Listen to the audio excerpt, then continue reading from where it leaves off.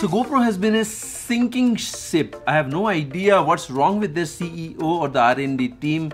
They have just been not innovating anything since years. I have the GoPro 1, 2, 3, 4, 5, 6, 7 now and I can tell you there is absolutely no change in image quality since 3 because it's the same lens, it's the same camera, it's the same sensor. Absolutely nothing has changed. They have not changed anything, they have not innovated anything, they have not given anything except just few changes and no one cares about the developed UI, new features. It's all about the camera sensor. If you are not innovative, if you are not developing something new for the customers, it's absolutely impossible to stay in such a competitive market. They need to step up their game. They need to get us a good sensor at least.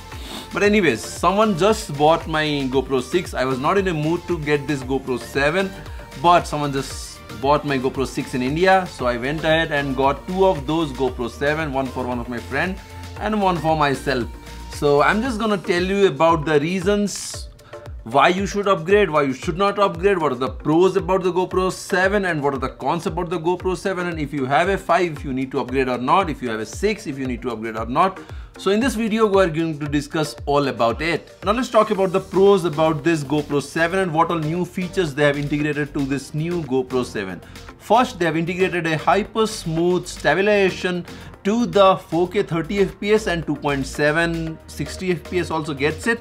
But you do not get the hyper smooth for 4K 60 or even the 2.7 120 so basically it's just available for 1080 60 2.7 60 and 4K 30 FPS 24 FPS 25 FPS so it's something like you do not need to have a gimbal or the camera grip. You can simply just hold it walk it with it and yeah the stabilization is good. I mean the hyper smooth was they have been really pushing this hyper smooth thing and it actually works good. I have been working with this gopro 7 and trying to use it for a while since last two days and the hyper smooth is really good thing. But yeah it, they could have simply given the same to us in a firmware upgrade in 6 maybe but as per GoPro it needed a lot of processing powers but I don't know. They have been joking. It's the same GP1 processor. Nothing has changed anyways the second thing is they have added a time-lapse mode. Oh sorry the hyperlapse mode using the and they have named it as time warp feature. In that you can change the speed like 10x 20x 30x 50x 60x up to 100 1800x that is crazy fast. Like for 5 or 6 hours you will be getting a 10 seconds video. I haven't tried maybe. Even the gopro can the battery cannot stay for that long anyway so this time warp feature is good if you are doing hyperlapse you're someone who is into hyperlapse thing or time lapse moving moving time lapse or hyperlapses this thing is going to do absolute magic I will do a new video about the test footage for the hyperlapse, time lapsed and the hyper smooth. So you need to wait for that video. I just have don't have time right now to do the test footage. It's all about I just need to talk about the pros and cons about it first. So the hyperlapse, the time warp feature is there for the uh, hyper smooth is there for the normal video like 24, 30 FPS, 60 FPS or 2.7. Then it has got better audio this time. 6 audio was not that great, 5 audio was absolutely horrible, but 7 audio is absolutely usable. I have been using it. If you have seen last 2 days my vlogs, you would have already seen the GoPro 7 footage and the audio. It's good. Third is the color rendition this time is good. It's not oversaturating it or over sharpening the footages. Thankfully, GoPro has fixed this issue. They always used to over sharpen the images, over sharpen the videos. This time the GoPro 7 videos right out of the box, right out of the camera, it's actually soft. So you need to sharpen it a bit in the post. Then the fourth is the sharpening is finally gone. I mean, even if you select the sharpening to low, it still sharpens a lot and absolutely unusable. I always have to go ahead and put that sharpness to minus 2, 3 in my Final Cut Pro. But yeah, this time the sharpness is good. Just set it to low and you are good to go. And the other thing which they have changed is they have integrated a new UI for this time, but I'm not liking that UI anyways. The 6 and 5 UI is pretty nice. This is kind of a new UI. Uh, but yeah, they just have to do something so the UI is new. The best thing which I liked in this GoPro 7 is it shoots vertically for Instagram stories, IGTV. This was so much needed. Finally, finally, finally we have it. You just have to tilt it to vertical and it starts doing its own job. and it also does vertical photos it does vertical videos and the second good thing is they have integrated live streaming all the way directly from the GoPro app on your phone directly to Facebook or YouTube.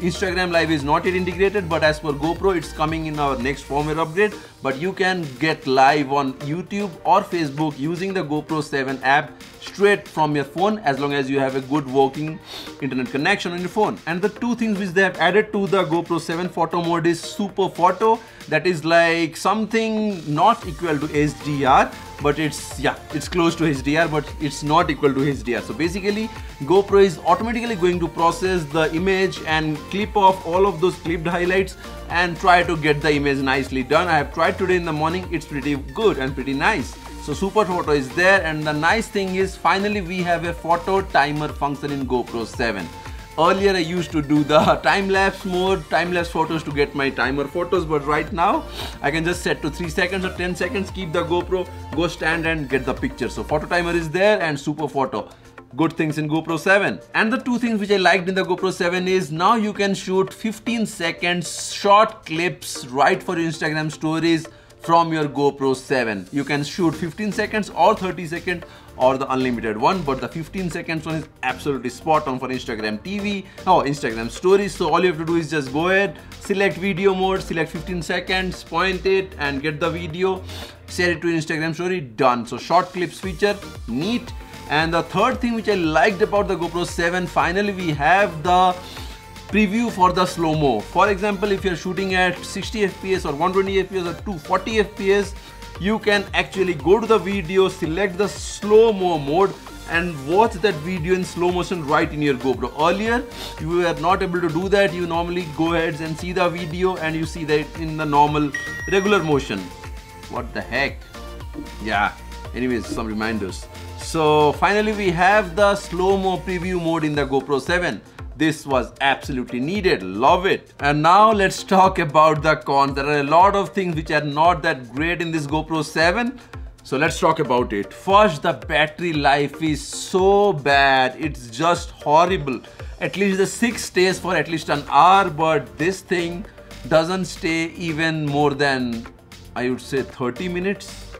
That is pretty bad. I don't know how they're getting into a downhill for the battery life this is really bad. You absolutely need to carry like four or five batteries to use this GoPro 7 battery life is horrible.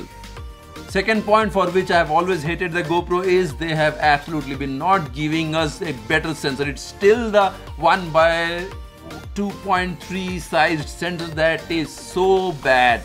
After like 7 years of GoPros we still have the same sensor. At least they could have given us one inch sensor in this 7 because they're charging huge. It's not like $400 is cheap. $400 is still a huge money and you can get so many cameras for $400 for a better sensor. But this GoPro, I mean, I don't know what's wrong with it.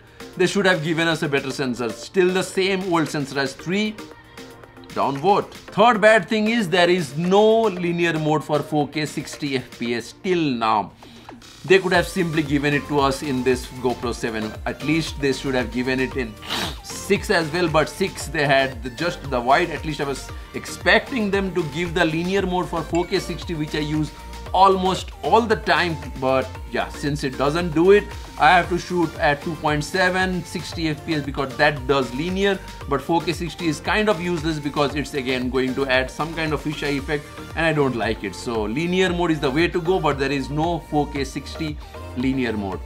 Downvote the fourth thing which is bad about it is the voice commands and the voice registration is still patchy. It doesn't work all the time like GoPro start recording it works, GoPro stop recording it works, GoPro start video mode it works, GoPro start time-lapse mode it doesn't work a lot of time. This bug has been there since like last two years and I have always complained to them, they keep on telling they're going to fix it but it's still not fixed. GoPro 7 doesn't respond to GoPro start time-lapse mode, GoPro start time-lapse, stop time-lapse works but GoPro start time-lapse mode it doesn't work.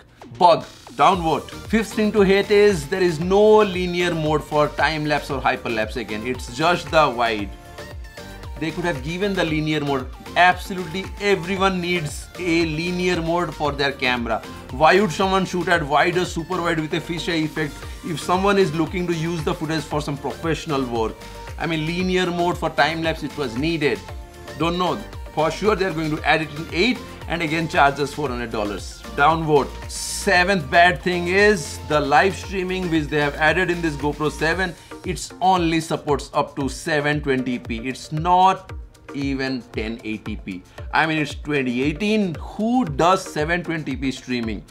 I mean this thing is kind of useless for 720p live streaming for sure they're going to add this in GoPro 8 and again going to sell for $400.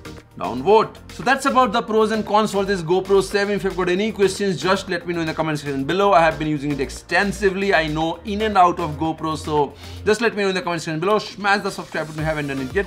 And don't forget to click on the bell icon to stay updated. I will see you next time with the next GoPro 7 video with its test footage so that at least you know how it does, how it works and what it does, if it's really worth it or not. And yeah, so I've been getting a lot of questions like if you already have a GoPro 5, I would suggest to go ahead and upgrade to GoPro 7. If you already have a 6, you do not need to upgrade to GoPro 7 until and unless you need that automated modes like hyperlapse, time lapse, or the hyper smooth or those photo timer or the Instagram stories shoot vertically so there are some features which I absolutely loved it in GoPro 7 is the 15 second short video, the vertical video, the live streaming and the photo timer, the photo capture super photo mode. So those are some nice features in GoPro 7.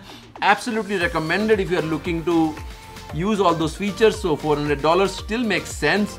So yeah, just let me know in the comment section below. Bye-bye.